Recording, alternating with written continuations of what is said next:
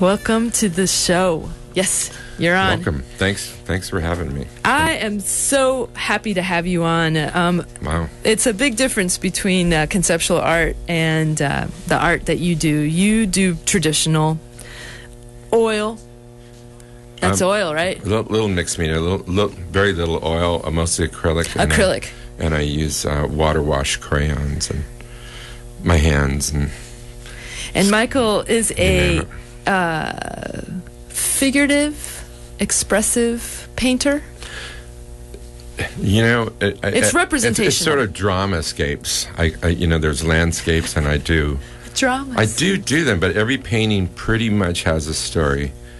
Um, and it's it's nice to get them out and people see architecture in it and they see you know organic in it. And, you know, I've been accused of having a lot of styles. There's a little little bit of uh, Hopper. I was getting Mm-hmm. some uh, Dennis Hopper, not Dennis Hopper. Um, what's his name? The Hopper guy. Yeah, And, it's just a lot of buildings, cafes, and uh, buildings uh, with a lot of uh, really use of great use of space, bright colors. yes, You like bright Santa colors because you live You in know. Santa Cruz. yeah, kind of. I, yeah, I do like bright colors, and I never see that until um, until I like the other day when you were over. All the paintings are pretty pretty brilliant in colors. They're very bright. In fact, I was saying that there was a little bit of a Maxfield Parrish to them because there was so much light coming out from them, especially your skies and your clouds and and um, just a just a em- emanating lightness. And the reason I was over at your house is because you are an open studio artist. Yes, And we had Ann Osterman on last week, and James Aschbacher, and uh, Mick, Mickey Singer, uh, who are also in the Open Studios. Uh, but this is your first. right, exactly. And so last weekend was uh, because you're on the North County side, on the west side, you uh, had your first. Right, first weekend. Next uh, next go round is the nineteenth, twentieth. That's the third weekend. The third weekend is the encore weekend. Yeah. This weekend in particular is the South County. So everything uh, south of the yacht harbor or the harbor. Yeah. I don't know if it's a yacht harbor, but the harbor. Um, in fact, James Aschbacher, because he's on that side, the Mm-hmm. east side, he will be uh, this coming weekend, Saturday and Sunday from 11 to 5 p.m. Amazing work. Amazing James. work. He's a uh, folk fantasy. Yeah. you know, I think I lost. I'm losing my voice from that so much talking this this weekend. Yeah, so you had a great turnout, Michael, Yeah, didn't you? I I did it. wa- You know, it's um it's it was it's my first time. Everybody, you know, I know a lot of people. Everybody's done it. You know, hundred years. I think at least twenty five years. And it's the first, really, the first time I've been able to do that. Um, and yeah, I was good. I, I was honored. You know, I I thought, well, you know, the least that can happen is I can show, but you know, I also sold, Yeah. Yeah. which is nice. yeah, your your work is beautiful. What's your number? Uh, number seventy one. 71 on Dufour. Yes. Um, so I'm hoping Encore Weekend is going to be cool because you know it's the last time. I'm. I suppose I just do this next year. I don't know, but it's the last time you can come and see my work. I got some deals. I, I'm willing to make some deals. So you know, And you have uh, quite a few paintings. I have less paintings now, but I have quite a few paintings, you know, and I kept, I, you know, I mean, I love to paint, so I'm always painting. Um, and I kept thinking, I don't have enough paintings, you know. So then when I spread them all out in the yard, I went, I have a lot of paintings. And the first person that walked in goes, Wow, you have a lot of paintings. So then I kind of, I was able to sleep better that night. And uh, part of your uh, exhibition Mm-hmm. shows a process of your paintings. And so I'd like to try to just Yes. describe to our, our audience uh, what Michael Villareal's paintings look like. You have uh, some of them are different sizes. You don't have like one type of, uh, you know, three by 4 Mm-hmm. You use uh, many different size canvases, I do. and but they're fairly big, medium size, most of, well, I guess you had a few small ones. Um, a lot of them have uh, bodies and faces in them. Um, in fact, you were saying that that's kind of where you're looking to do more uh, portrait type things. Is that right? Um, gosh, I, I had some paintings of my. I have a six-year-old daughter and a 25-year-old daughter, but I, I did do some paintings um, of my daughter, and um, that you know, I, I, I I have to say most of my paintings are personal, and um, once in a while I'll spring something out, um, like locally. Yeah. Every time I every time I do something local, it seems to sell fast. So Sure. I'm sure next year I'll, I'll have a series of something that based on what people really liked. But it seems like everybody liked everything. Yeah, and but you. I work a lot on the bigger pieces are on wood, and I've been kind of experimenting with wood, like the uh, the banyan tree. I I I thought, well, you know, it's a full circle. I bought this plywood that was I'm not sure what the wood is, maybe a little pine, and I thought by doing um, a tree on a wooden board that was some sort of Irony there. yeah, irony and recycled art or something. Yeah, it's it's interesting. And so, one of the paintings that you have that is in process Mm-hmm. is the painting of was it an open studio guest that came? It was, and a good friend of mine, Mr. Um, shout out to Mr. Schmidt, who's he, he and his wife are in Carmel having a good time. Um, he came, and I thought, well, you know, I, I, I'm going to do wood this weekend and canvas next weekend. So this weekend I started, um, you know, washing it, and I didn't quite get into it as much because I wanted to talk to people, and my jaw actually hurts. You know, little massage. Uh, You know, jaw it's funny because I, you know, I see Ann, Ann Osterman. I know she, she's been in here. last and I, week, the yeah, and I think I know she's been doing this a long time, and uh, you know, saw her at the event. I know she coordinates stuff for months and maybe years. And I think, gosh, you know, it's a lot of work to do two days. You Yeah. know, so I pity the people who have to do it for months and months. But, but I learned, I learned, boy, you know, my legs were tired, running around talking to people. so I really tried to get that painting on the board. I've got my sketches now. I took, took some shots to get the right light, and I'll probably be playing with that painting in the next few days. So the painting of Mr. Schmidt is mm-hmm. on wood. Yes, it is. I didn't. Re-. I didn't realize that. Yeah. And so, what the uh, people that came to your, you know, the people that come Mm-hmm. to your open studio, um, what they'll see is a outline of a face, uh, a, a head, Mm-hmm. and upper body, and you're. Uh, making in, in kind of large gestures the, the features of the face Mm-hmm. in a dark green color or is it Actually, actually I, am you know, I always jest the, the wood, especially the wood, because it's it's sort of unforgiving. It has, um, the pores yeah, it just just Sucks sucks, the paint up. So Yeah. and you end up with this powder. So and then I just would hit it with my base. I in that case, I thought because of the light in the morning, I, I go on with a very red background and I sprayed a lot, let it run. Um, I kind of like it being sort of hacky and drippy, and you know, I like I like that. And then I, then I sort of carve out of, you know, I've, I've always admired the whole. You know, I went went to college and school and art Academy of Arts in San Francisco, and I, I've always been a lover of the chiaroscuro era, where you know you, you carve out of the darkness, and Yeah, I, yeah. I pretty much carve out of dark colors. Yeah. You know, a lot of times when people really look at my paintings, they see layers and they go, "Well, how, you know, what's your thought on that?" You know, and I tell them, and they, go, "That's that just seems backwards or something." You know, to to to paint the back dark and then come out of that's that's how I paint. So but it works because it brings Works- out works the for me, light yeah. because the light is the last kind of the the top layer of your painting would be the light colors would you right. say Yeah, yeah, it is. and this is the same process that Titian did in Venice in the uh, 1400s, Mm-hmm. late 1400s. He would do the background in a dark burgundy red Hmm. and then layer on top from there, and then you get the most light filled Mm-hmm. paintings. It, it's amazing. Um, It you- cr- yeah, it creates a it creates a luminous sort of a luminosity in my paintings. I, I can see that, and, and I could, I look and I, I think, you know, knowing when to stop is really a big deal for me because I think, well, I could just keep going on this Right. one, you know. Well, But so- I do, I do, yeah, I do stop, and sometimes I look at it and I think, God, I really stopped short on that. But you know, I'm trying to create some sort of light, color, energy, and and and some emotion, I suppose. You know, most certainly.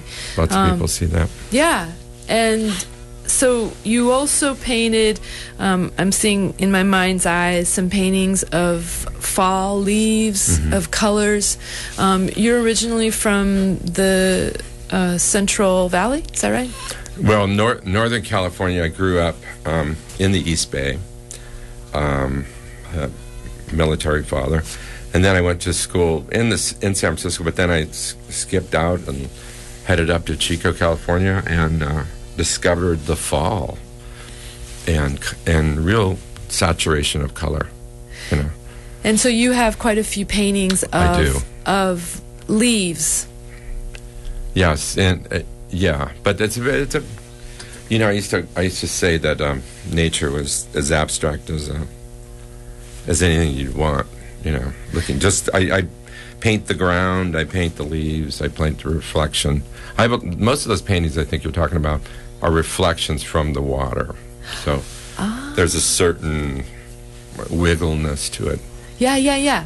And it, it does verge on the abstract. It's Mm-hmm. bec- going in that, um, but in an expressive kind of way. Yeah, I guess uh, I guess I would be in abstract expressionist. I think what you told me, if I may share your secret, Michael Villareal, Mm-hmm. Yeah. is that one day when you have all the money you need, that is where you'd be going. I, yeah, because I think when I look at the style that I enjoy the most, I think that seems to be where I'm headed.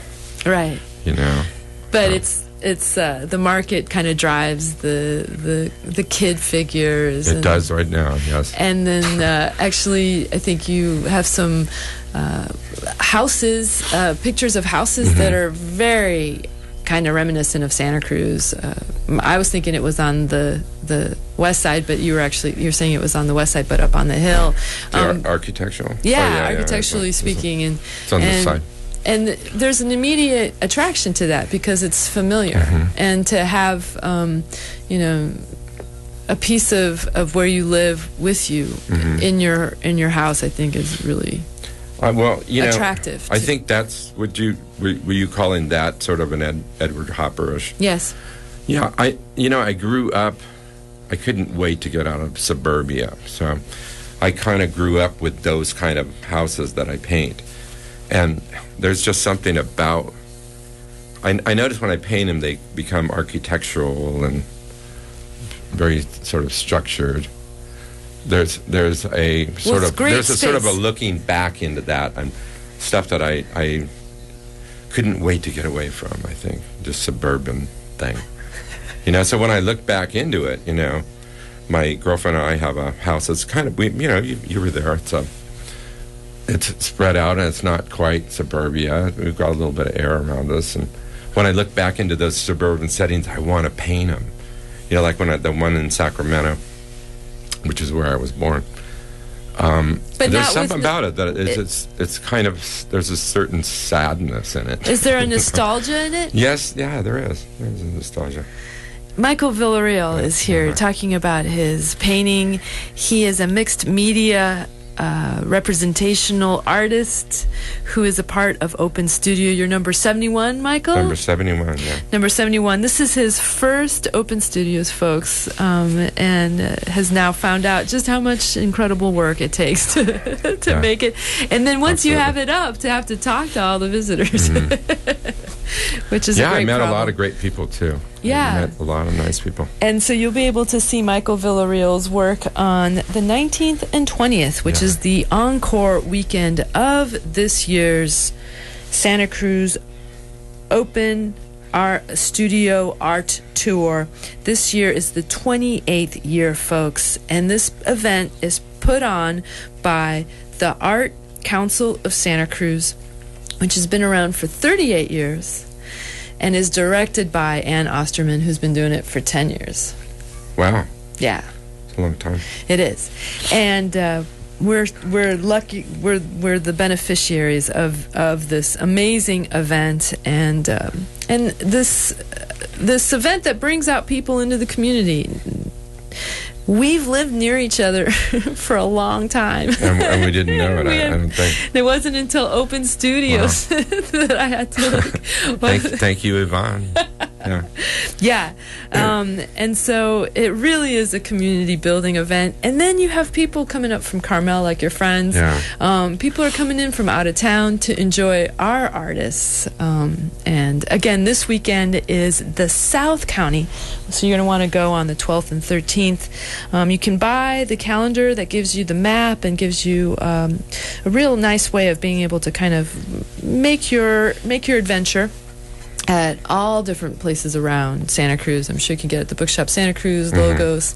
You can certainly go to the Tannery and go to Art Council yourself and get it there. Um, Michael Villareal, so you have been working as a as a designer.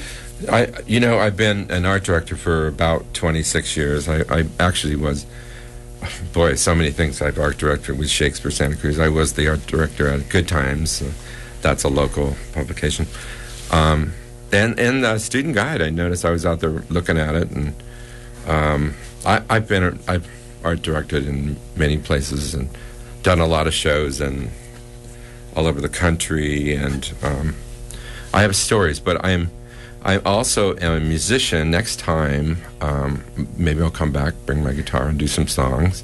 Of but I'm course. transitioning from music right now to my. I really want people to see my painting, and you know, Yeah, you're they're big deal. wonderful. It's wonderful, and you have a beautiful backyard that's very nice for a deck and for people to come and just sit and relax. It, was it was a really lovely time, and Yeah. I thank you for that.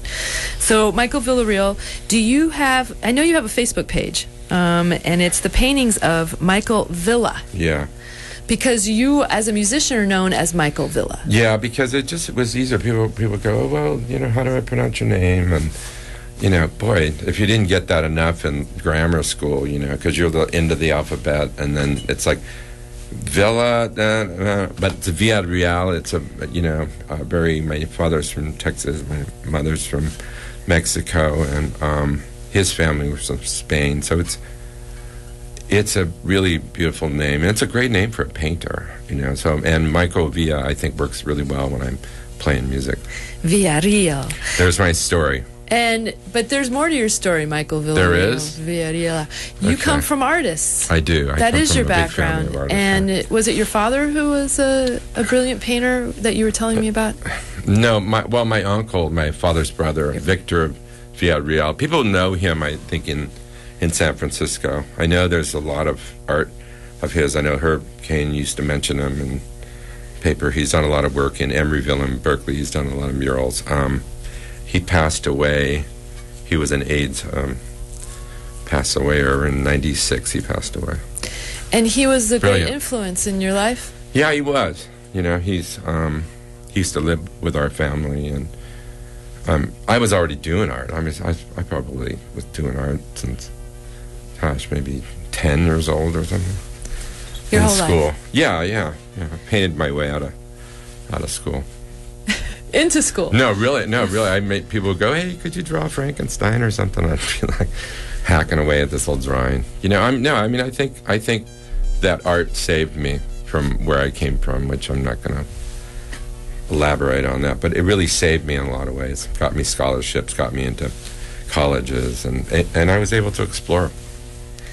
And No. so now you're putting aside your directing, your design directing. I, I haven't. I kind of backed off on that. I do. I, I do some. Uh, I've done a lot of startup for people. Um, um, Jose at El, El Palomar restaurant, all his startup, and Jalisco. I've done. I've worked with a lot. Now that I think about it, I think I've worked with a lot of the Latino communities and in with graphics. I'm. Gonna, you know, I, I think I'm a brilliant designer because I um, also have a lot of marketing skills, I think you're. and I brill- talk a lot. Yeah. In fact, there was a couple designs that I was wishing you'd put on a shirt because my Really? ha- my son would love to wear some of your skulls. You had quite a few. Oh yeah, yeah, that was big. wasn't it? Uh, yeah, well, that's those are long stories. Um, but yeah, that, I think that's that's one of the things I'm gonna I think crank up a little bit. It would be cool T-shirts. Oh yeah, Or there's or fabric, the, maybe. the the the opportunities for that design are endless. Yeah. yeah, from skateboards to everything. Yeah, I, I think I'll show that more, but it's it become you know I'm an illustrator. I illustrate as well, but I don't know if you put anything in my hand, I'll I'll draw something. So Right on. you know, Okay, the way it folks, this has been another Artist on Art uh, for October 9th, 2013. I've had the wonderful pleasure of speaking with Michael Villareal. Uh, Michael is a local artist, art director, painter, musician, and we met during the Open Studio Art Tour, and I'm so glad that you were able to come on today. yeah, it was great. Number 71, folks. Uh, he'll be having his home open again, his studio, on the 19th and 20th of October. Um, all four days, uh, this coming weekend and the next weekend, the studios are open from 11 to 5 p.m. Yeah, and just uh, just come by. You know, I mean, it would be nice. I, you know, I love people to buy things, but it's, I love meeting people, so it's just great. I like to meet the art community. Yeah. Come and by. I, I thank you for your work. Um, I want to say thanks to uh, Vanya Benavides for live tweeting Thank you. this, Uh, the show today, and I've got a little um, Cesaria Evora to get out. And stay tuned for Whiskey Town. Thanks for listening, everybody. This is Nada Miljković signing out.